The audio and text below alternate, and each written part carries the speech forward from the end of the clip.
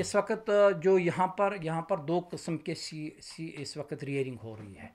एक तो होता है कि पी टू जो पी टू होता है पेरेंट ग्रैंड पेरेंट्स तो वो हमारे पास यहाँ एक उनस है हंड्रेड डी एफ़ एल्स यहाँ पर हम रियर करते हैं और हंड्रेड डी एफ़ एल्स हमने टारमा बी एस एस टारमा एक और सिटेशन है, वहाँ करते हैं।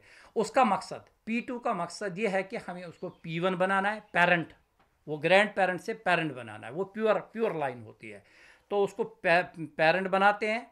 वही पेरेंट दूसरा पी वन जो है हमारा, जो पेरेंट और और रियरिंग हो रही है पेरेंट की रियरिंग पेरेंट में हमारी यहाँ इस वक्त दस उन्नीस चल रहे हैं।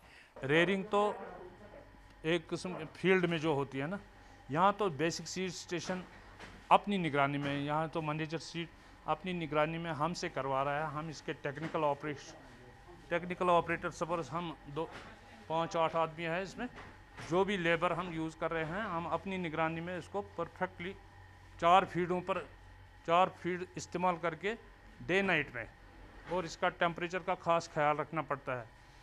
ये यहाँ जो हम रेयरिंग कर रहे हैं, ये सिर्फ़ सीड पर्पज़ के लिए, जो फ़ील्ड में हो रही हैं फ़ील्ड में कमर्शियल के लिए।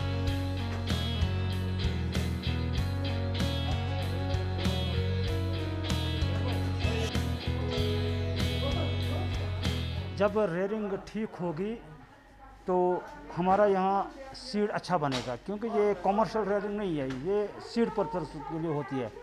बेसिकली ये जो मेरगुण है, ये सीड सिचुएशन बेसिक सिचुएशन मेरगुण इसको बोलते हैं।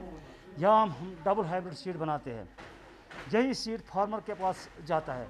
जब हमारी क्वालिटी क्वांटिटी यहाँ अच्छी होगी तो फार्मर का भी अच्छा खासा फिर उसमें वो उसका रोज़गार मिलता है।